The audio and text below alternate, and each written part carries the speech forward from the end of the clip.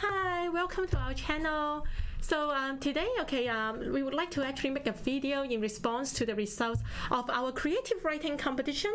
So we basically held this creative writing competition. I think it's actually in the winter break, and then you know, uh, uh, like uh, through a series of screening, you know, our judges give comments and marks, okay, and then we finally selected the finalists. Uh, not the finalists, actually the winners already. And today, you know, uh, we're very happy to have invited actually the champion of the short story division. Ivan, okay, to be our guest here to share to share with us, you know, um, he's actually a short story, and also to share with us, okay, uh, why what makes him actually create this kind of great work. Okay, so welcome, uh, Ivan. Okay, so uh, let me actually before okay we start actually sharing the story. So i would like to give this certificate you know uh, to ivan first. Thank congratulations. You. yeah that's great. And i also would like to say thank you okay to our judges okay uh, which uh, include okay uh, including uh, uh, kyle okay mr kyle frosten anna dr anna cho and also miss christine as well okay. They have actually done a lot of work in selecting you know the winners of this competition as well. Thank you very much. Okay so ivan so I know uh, your short story is actually called "Veil of Ignorance." Okay, so uh, like I want to ask, you know, um, why, uh, what actually made you have this kind of idea? You know, um, why do you actually have this kind of theme, ignorance, veil of ignorance here? Um, actually, the theme is uh, "Veil of Ignorance" is the idea of about uh, John Rawls um, in his in his book The Theory of Justice, he mentioned about this veil of ignorance. He talked about the fairness and to how to build a world with fairness.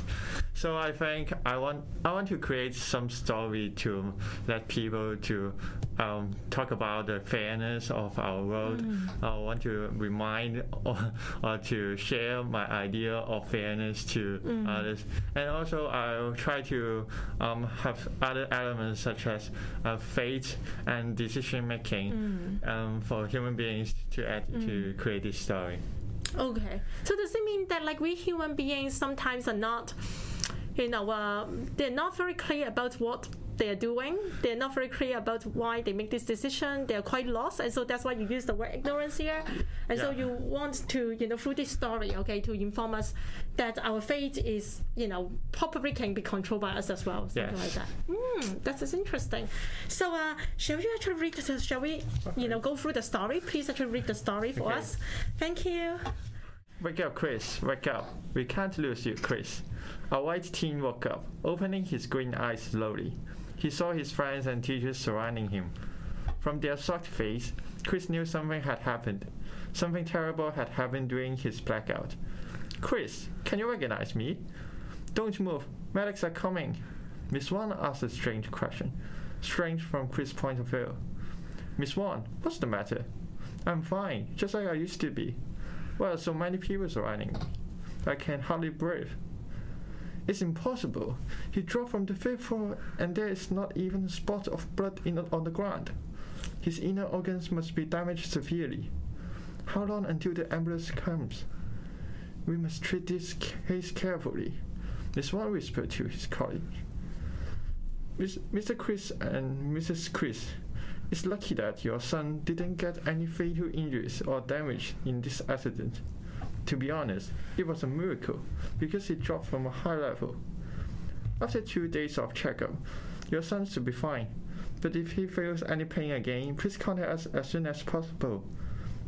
The doctor told Chris' parents, and it seemed that everything had settled down. One random night after the accident, Chris woke up at midnight. He heard a conversation between his parents and listened to it sneakily. I think there are some problems in his programming system. We should contact Professor Peter. I agree with you and hope that we won't need to wipe up all his memories this time. It cost us so much last time. We must take care of Chris more carefully. We can't let him find out the truth. Chris was left speechless. He didn't know what his parents were talking about. What's that? What's programming system? Who is Professor Peter? Did mom say she needed to wipe out all of my memories? There were so many question marks in Chris' mind. He couldn't figure out the answers. Chris decided to leave the, these questions behind and went back to sleep. The next day, When Chris was reading his biology textbook, he found something interesting. The colors of the pupils of the children should be de- decided by the gene of their parents. Amused by the book, Chris started to recognize something was wrong. Either the textbook or his birth certificate. Chris' green pupils did not match with what the textbook said. His parents' pupils were blue and brown. No way, something's wrong about this book. That's nonsense. Chris started to doubt his lineage, but in order to look for more evidence, Chris went down to the basement as he remembered that there were some old pictures of his parents. They must have had some eye surgeries to change their eye colors. I'm their son undoubtedly. Chris searched like a hungry cat. He wanted to know the truth desperately, and he knew that he would be the only detective for this case, so he had to figure out all the secrets by himself. However, he was not Sherlock Holmes. He couldn't solve the puzzle to find the truth. Chris felt depressed. He wanted to know whether he was living in lies for the past 15 years. When Mr. and Mrs. Chris came back, he asked them, Dad and Mom, I want to ask why my pupils are different from yours, because it is illogical and impossible according to the textbook. Am I, am I an adopted child? Come on, Chris, we gave birth to you. You are our only child, our treasure. Then how can you explain this? The textbook will never be wrong, and there are scientific reports supporting this finding. Mr. Chris face turned red and said, I think the money has been wasted, and I think the fall must have damaged his CPU. You must repair him. After his statement, Mr. Chris held his son's neck and pressed it hard. Despite Chris' resistance, Chris finally fell down and his eyes turned white, showing no pupils. Mr. Chris drove his son to Dr. Patterson, a bearded old man. Doc, there's an issue. He find out that he's a robot. You said he will not be able to question his lineage after we wiped out all of his memories last time. We want our money back. Mr. Smith was furious as he thought he was being deceived. I think his fall has damaged the restraints on his CPU. We set for him previously. It, it would be an easy fix, don't worry. Suddenly, Dr. Patterson dashed to Mr. Chris' back and pressed his neck hard, and Mr. Smith shut down and fell to the floor as well. Dr. Patterson did not have a clear idea how to deal with the two robots in front of him. Damn, an under-defected one. I should not allow these robots to think. Giving them an independent mind has made it hard for me to control them. This CPU model 1971 only makes them rebel. Even the newest model cannot stabilize them. Perhaps this robot will never be able to compete with human beings. It's time to shut down all the robot projects. Poor little Chris. You thought you'd find out your identity on your own? Everything you did was programmed by me. All of you will never realize who the real boss is here. Robots are stupid. Once they have a bit of knowledge and power and start, and start to be cocky, they dream they can control everything, know everything. However, they never learn how tiny they are in front of me. Okay. So I okay, there are two choices here, right? Yeah, So like, uh, so you've chosen choice A. yeah, I chose the blue text. Okay. So uh, the second choice, right? So like readers are, you know, free to make a choice here, right? Yes. So uh, can I actually read choice B? Yeah, of course. So it's about there's still hope actually in these robots. Okay, so let's see. Okay, what happened actually in the red test? Come on, another fail. Uh, Project Chris failed once again, but this little robot Chris is one step away to revealing his true identity. Perhaps he, he can be upgraded and develop an independent thinking mind. It's time to take away the restrictions on these robots. Maybe all of them can recognize their identities as a robot and they make decisions on their own eventually. I have to work hard to help them develop their mind. Dr. Patterson grabbed his tools to work on the two robots afterwards. But no matter whether it's choice A or B, we have a very, very unexpected ending in the last paragraph. Yes. Ivan, please, yes. It's here. We find him. Take him down immediately. Why are we doing this? Shut up, you idiot! Just follow the orders. Two muscular guys in black were arguing after spotting Dr. Patterson. They pressed on Dr. Patterson's neck, and Dr. Patterson shut down. It's Team JR. We have retrieved asset ATOJ and are heading, and are heading back to headquarters. And that's the end of my story. Thank you, thank, Thank you. Ivan. Thank you. So, like, um, are there any special lines or any special parts of the story you think is very, very worth reading, and you think it's very, very inspiring? Um, actually, uh, at the end of the uh, of my story, um, I make choice A and choice B. So I I wanna make uh, I wanna give some choice for re- the readers to make some choice, um, to make uh, ending which is suitable for them. Um, there's hope or there's no hopes um, Mm. for them. Mm. So I think this is quite special, but Mm.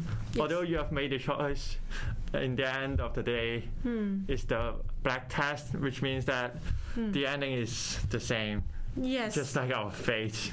Okay, so the fate here, so uh, so like the, the ending is very interesting here. So what does actually him refer to here in the last Actually, paragraph? him is referring to Dr. Patterson, uh, Professor Patterson. Mhm. So, which means that actually, Professor Patterson himself is also another robot.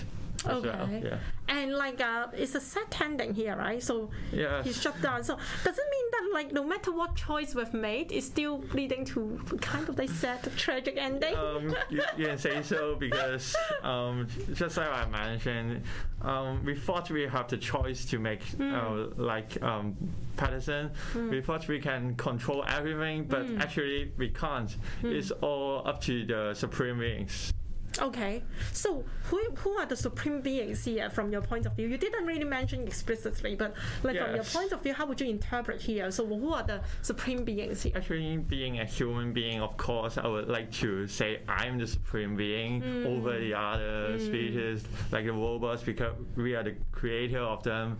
So, I, Exactly. um, but actually, in our reality, we can't say who is the creator of human beings. So, Exactly. um, I don't know. Maybe there's no creators or no supreme beings in our world. So- All of us can make our own fate and make our own choice. Yes, and so you can see as revealed at- actually at the end of the story, right? Like Dr. Patterson, you know, originally seems like he controlled everything, controlled at least a robot, but actually in the end he could not actually escape from the fate of being shut down as well. Yes. So you can see like uh, no matter who we are, it seems like like we it seems like of course first of all we have a choice here as a reader we control everything but what will happen actually you know in the end we don't know probably Just like in the reality, our, we may think we can control something or have Mm-hmm. some choices um, for us to go to which school to Mm-hmm. make our own choice. But maybe there's something that we can't control, yeah and that's what I call fate. very dark. but I would say yes, this is very true as well. You know, I agree. Yes, I really enjoyed this story a lot. You know, very very creative, especially towards the end. Another idea I like in your story is actually about the color of the pupils. Okay, what actually inspired you to have this kind of idea in your writing? Actually, the idea of the um, pupil color is um, from a movie called The Gift. Um, It's a Hollywood movie. Um, I really like love that movie, and it's about in the ending. It's about our, our children, um, but we don't know who is the father of the children. So we we may be thinking is the father of the children is the antagonist or the protagonist. We don't we even know. So it- there is a particular shot that um, the, the camera zoom into the children's eyes and revealing the color or the pupils of that color. So, um, so I really love this movie and I want to uh, have this- element to put This in, idea, okay. yeah, put So in my story. That scene in particular has inspired you to Yes. create this this scene as well, right? That that's very good, you know. So seems like you you you you like uh you are inspired, influenced by the movie a lot as well, right? Yes. So that's great. So, so every one of you, okay, if you're the movie goer, you can always actually be inspired by any great scenes, you know, in the movie, and then incorporate the elements in your own work as well, which is very, very, very inspiring. And like, um, I also noticed, you know, Ivan, you said just now you told me you're actually uh, from BBA, right? Yes. Uh, so, uh, so why? What make you actually join this competition? What make you create this kind of short story? Um, actually, I'm inf- influenced by some great movies or Oh. some great stories. Okay. Mm. I, I love storytelling very much. Um, I love having some creative story, especially for some stories that have a big twist in the end of the Yeah, story. So I want to make um, my own story to have a big twist that uh, can shock the audience, to shock my, to shock my readers. That I think it is very cool. Okay. And so you've been actually writing a lot of stories as well? Um, not not very much, but Okay. um, But a few yeah. already. That's good. That's mainly short stories. yes. Okay.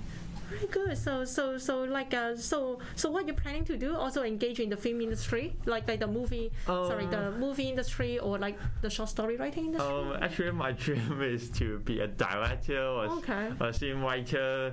actually, I, wa- I want to make my own movie, but That's good. That's good. yeah, Cool. because I think movie movie industry, uh, or I would say, it's creating some story that. Um, creating movies like creating a world which is Mm, uh, different from our reality that we can control that world um, and which can send some important message to our audience. So i think movie is very Yeah, that's great. That's great. I hope your dream comes true one day. Yeah, probably should be so. fun. Yes. Okay. So please, yeah, please actually keep going. I would say very, very creative the story, and hope like one day I can also see your work probably somewhere. So who knows? Okay, it's not necessary to be really a real movie, but you can. There are so many microfilms actually on YouTube as well. We are doing a project actually on YouTubers as well. So probably I will invite you to be a director as well uh, for some of our channels. So thank you very much, Ivan. Thanks a lot. you. Thank you. Thanks a lot. so thank you. So uh, see you next week. We will introduce more channel, more words, okay, creative words to you. Okay. So see you. Bye.